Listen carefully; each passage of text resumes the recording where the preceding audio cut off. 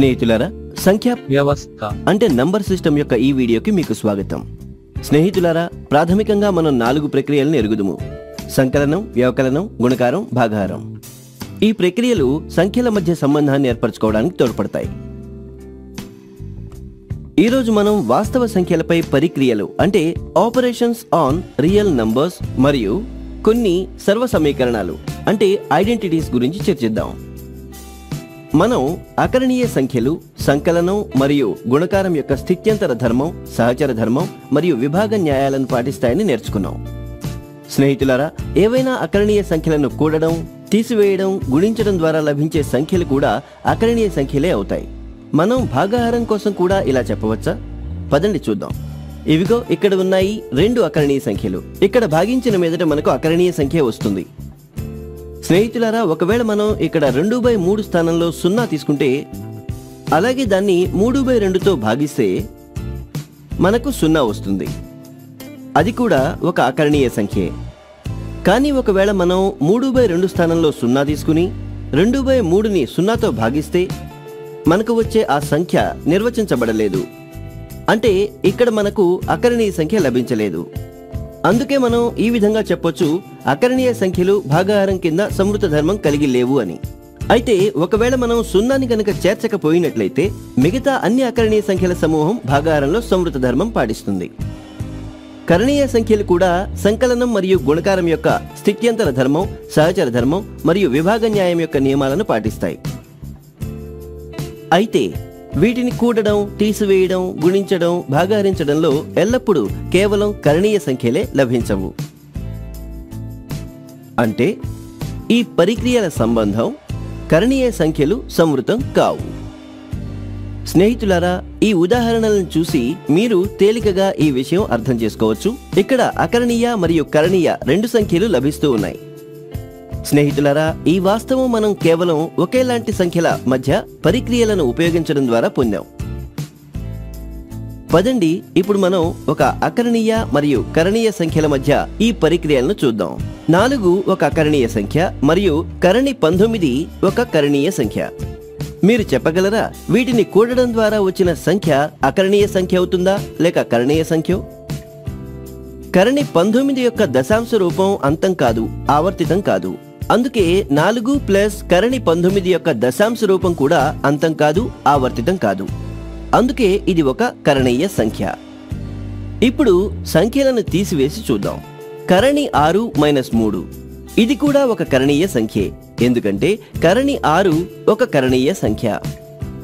రెండు మరియు కరణి ఐదుని గుణించిన మీదట మనకు వస్తుంది రెండు కరణి ఐదు. స్నేహితులారా ఇది కూడా ఒక కరణీయ సంఖ్య.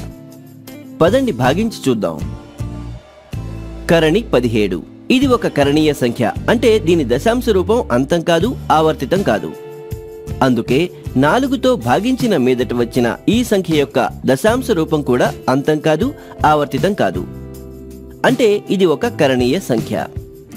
స్నేహితులారా ఈ ఆధారాలన్నీ దృష్టిలో ఉంచుకుని మనం ఏం చెప్పవచ్చంటే ఒక అకరణీయ సంఖ్యను మరొక కరణీయ సంఖ్యతో కూడడం తీసివేయడం వల్ల వచ్చే సంఖ్య కరణీయ సంఖ్య అవుతుంది. అలాగే కరణీయ సంఖ్యలలో సున్నాని తప్పించి ఏదైనా అకరణీయ సంఖ్యతో గుణించడం లేదా భాగించడం వల్ల వచ్చిన సంఖ్య కూడా కరణీయ సంఖ్య అవుతుంది. పదండి ముందుకు వెళదాం. ఏ మరియు బి ధనాత్మక వాస్తవ సంఖ్యలు అనుకుందాం. అయితే కరణిలో ఏ బి కరణి ఏ ఇంటూ కరణి బికి సమానమవుతుంది. అదే విధంగా కరణి ఏ బై బి కరణి ఏ బై కరణి బికి సమానమవుతుంది. స్నేహితులారా మీరు ఈ రెండు ధర్మాల గురించి ఎరుగుదురు. ఇక్కడ ఏ మరియు బి వాస్తవ సంఖ్యలు.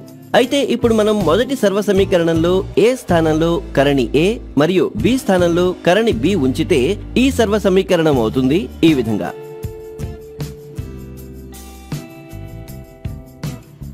ఒకవేళ మనం ఏని ఏగానే ఉంచాం కేవలం బి స్థానంలో కరణి బి ఉంచితే అప్పుడేమవుతుంది? ఈ విధంగా ఉంటుంది.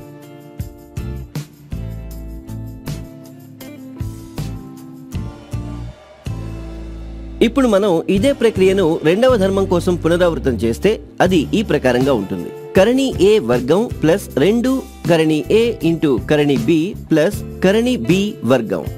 ఇక్కడ కరణి ఏ ఇంటూ కరణి బి అవుతుంది కరణి ఏ బి ఇంకా మనకు లభిస్తుంది ఏ ప్లస్ రెండు కరణి ఏ బి ప్లస్ బి స్నేహితులారా ఒకవేళ సంఖ్యలు కరణి ఏ ప్లస్ కరణి బి ఇంటూ కరణి సి ప్లస్ కరణి డి ఈ రూపంలో ఉంటే మనం ఏం చేస్తాం? పదండి దీన్ని కూడా సూక్ష్మీకరిద్దాం మరియు ఏం వస్తుందో చూద్దాం. మనం సాధారణంగా ఎలా అయితే బ్రాకెట్లను తొలగించడానికి సంఖ్యలను గుణిస్తామో ఇక్కడ కూడా అదే విధంగా చేద్దాం. లేదా మనం సంకలనంపై గుణకారం యొక్క విభాగ న్యాయ సూత్రాన్ని ఉపయోగిస్తామని చెప్పొచ్చు. మనకు లభిస్తుంది ఇది. కరణిలో ఏసీ ప్లస్ కరణిలో ఏడి ప్లస్ కరణిలో బీసీ ప్లస్ కరణిలో బీడీ వర్గమూలానికి సంబంధించిన ఈ ధర్మాలన్నీ విభిన్న రూపాల్లో ఉపయుక్తమైనవి. తదుపరి వీడియోలో మనం దీని గురించి వివరంగా చర్చిస్తాం. ఈ పాఠ్యాంశంలో ఇది మాత్రమే. ఈరోజు మనం వాస్తవిక సంఖ్యలపై పరిక్రియలు అంటే ఆపరేషన్స్ ఆన్ రియల్ నంబర్స్ మరియు కొన్ని సర్వ సమీకరణాలపై చర్చించాం. ధన్యవాదాలు.